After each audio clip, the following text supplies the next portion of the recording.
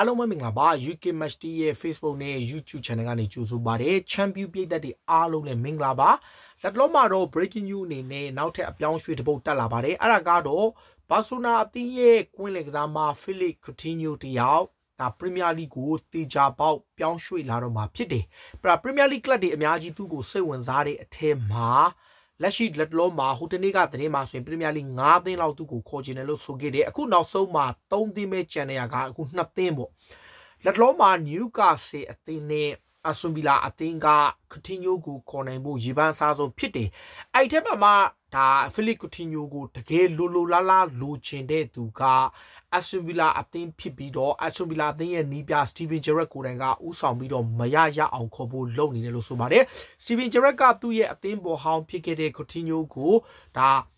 ယာဒီကုံထိဘာဆိုနာကနေအငားနဲ့အရင်ရအောင်ခေါ်ပြီးတော့မှယာဒီကုံမှာအပီးသက်ခေါ်ယူဖို့ကိုသူတို့ဘက်ကကြိုးပမ်းနေတယ်လက်တော်နေထားရဒါမက်တီယို မိုရတိုဆိုတဲ့ဒါ Twitter တခုရဲ့နောက်တစ်ခုက Mando Dibo Dibo ဆိုရဲ့ report တခုအရ Aston Villa အသင်းဟာ Philip Coutinho ရဲ့ agent ဖြစ်သူနဲ့ဆွေးနွေးမှုတွေကနောက်ဆုံးအဆင့်ကိုရောက်ရှိနေပြီဖြစ်ကြောင်းလက်တော်မှာဘာစီလိုနာကထွက်လာတဲ့အခါသူ့ရဲ့လောက်ခလာစာကိုဘာဆိုနာရှိကနေ အငှားနဲ့ခေါ်တဲ့အတွက်အပြေးဝပေးချီဖို့မပေးချီဖို့ကိုသူတို့ဘက်ကဆက်ပြီးဆွေးနွေးနေတယ်ဆိုတဲ့အကြောင်းဖော်ပြလာတယ်။ဘာကြောင့်လဲဆိုတော့ဖိလစ်ကူတီညိုဟာလောက်ခလာစာ2သိန်းကျော်3သိန်းနီးပါးရရှိနေသူဖြစ်တယ်။ဘာဆိုနာဘက်ကလည်းလောက်ခလာစာတွေကိုရှော့ချနေတဲ့အတွက်ကူတီညိုကိုယာဒီကုံတီအငှားချပြီးမှယာဒီကုံမှာအပိသက်ထွက်ခွာခွင့်အပိသက်ပြောင်းရွှေ့ခြင်းတချို့နဲ့ရောင်းခြင်းနဲ့ဆိုတော့ယာဒီကုံမှာအပိသက် ပြောင်းရွှေ့ဝယ်ရမယ်ဆိုတဲ့အချက်ကိုဘာဆိုနာကထည့်ခြင်းတယ်အဲ့အတွက်ကြောင့်သူတို့ဘက်ကစဉ်းစားနေတယ်ဘာဆိုနာဘက်ကတီချာပေါက်ထွက်ခွာခွင့်ပြုထားသလိုခတီညွန်းကိုတိုင်ကလည်း2022ကာတာကမ္ဘာဖလားပြိုင်ပွဲမှာဘရာဇီးတင်းနဲ့တူပါဝင်ခွင့်ရဖို့အတွက်အစွမ်းကုန်ကြိုးပမ်းဖို့ရှိတဲ့အတွက်ဒါပရီးမီးယားလိကိုပြန်လည်ပြောင်းရွှေ့ဖို့ဆုံးဖြတ်ခဲ့တယ်လို့ဆိုထားတယ်။အက်စတွန်ဗီလာအသင်းကတော့အခုလောလောဆယ်မှာနျူကာဆယ်တက်ပို့ပြီးတော့ထဲတဲ့ဝင်ဝင်ကာနန်ထားတယ်။စတီဗင်ဂျရက်ကသူ့ရဲ့အသင်းပေါ်ဟောင်းဖြစ်ခဲ့ဘူးတဲ့သူကို သူကိုယ်တိုင်စီယုံလျက်ရှိလို့ဖိလစ်ကတီညိုရဲ့ agent ဖြစ်သူကိုပါသူတို့ဘက်ကဗီလာရဲ့တာဝန်ရှိသူတွေက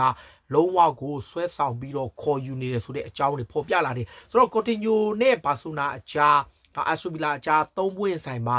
လာစာဘလူခွဲပြလိမဲဆိုတာကိုပဲညှိနေတာတကယ်လို့ဘာဆိုနာအသင်းကျင်တဲ့အောင်အဆိုဗီလာဘက်က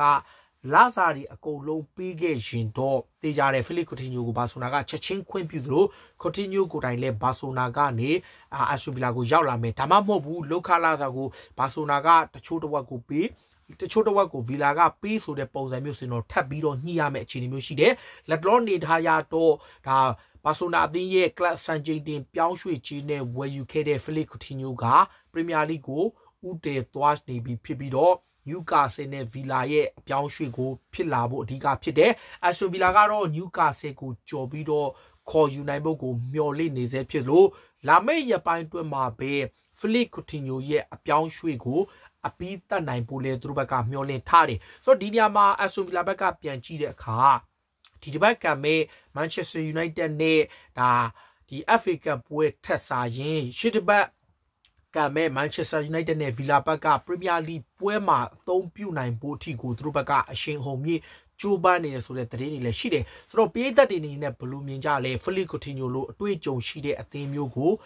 ခေါ်တင်တယ်လို့ထင်လားအခု Tottenham Hotspur ဆိုရင်လည်းတကယ်ကိုကွင်းလေကစားမတယောက်လိုတယ် Arsenal ဆိုရင်လည်းအတိုင်းတာတို့ထိလိုတယ်ဆိုတဲ့သတင်းတွေရှိလို့တခြားသောအသင်းတွေကရောစိတ်ဝင်စားမှုရှိလား Coutinho အနေနဲ့ဘယ်အသင်းကိုပြောင်းတင်တယ်လို့ထင်လဲ ကိုယ့်ရဲ့အမြင်လေးတွေကိုကိုမတ်မှာဝင်ရောက်မှတ်ချက်ပေးကြပါတေးကြတာတော့ Aston Villa အသင်းဟာ Philip Coutinho ပြောင်းမဲ့အသင်းဖြစ်ဖို့များနေပြီဖြစ်ပါတယ်အားလုံးကိုကျေးဇူးတင်ပါတယ်အရေးတော်ပုံအောင်ရမည်